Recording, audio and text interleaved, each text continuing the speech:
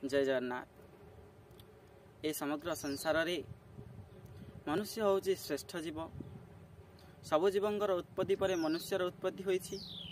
ଭଗବାନ ସମସ୍ତଙ୍କୁ ଉତ୍ପତ୍ତି କରିବା ପରେ ମଣିଷକୁ ସୃଷ୍ଟି କରିଛନ୍ତି ଏବଂ ତାକୁ ଦିବ୍ୟ ଜ୍ଞାନ ଦେଇଛନ୍ତି।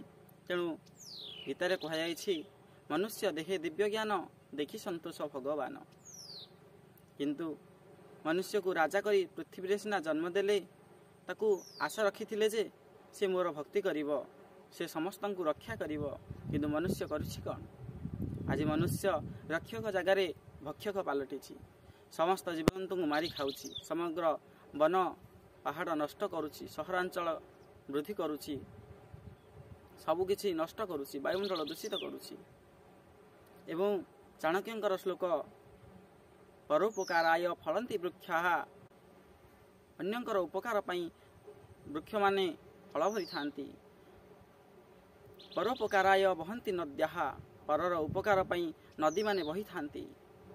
ପରୋପକାରାୟ ଦୁହନ୍ତି ଗାବହ ପରର ଉପକାର ପାଇଁ ଗାଈମାନେ କ୍ଷୀର ଦେଇଥାନ୍ତି।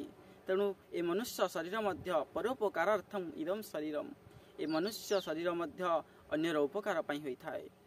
କାରଣ ଭଗବାନ ମଧ୍ୟ ମଙ୍ଗଳମୟ ଅଟନ୍ତି। ସମସ୍ତଙ୍କ ଉପକାର ହିଁ କରନ୍ତି କାହାର ଅପକାର କରନ୍ତିନି।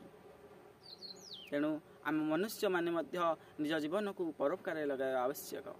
ଜୟ ଜଗନ୍ନାଥ।